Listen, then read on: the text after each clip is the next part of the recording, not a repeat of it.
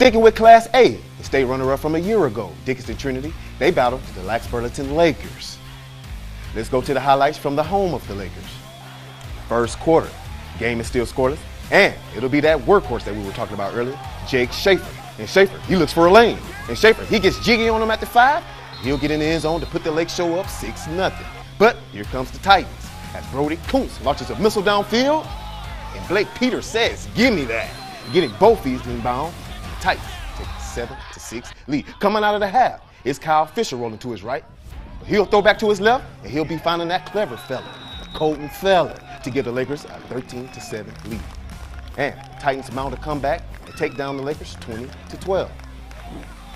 Out east, the reigning Class A champion Kindred Vikings hosting the Velva Aggies in the matchup of the top two teams in the class. The Aggies gave the reigning champs a run, but fell just short, 13 to 6.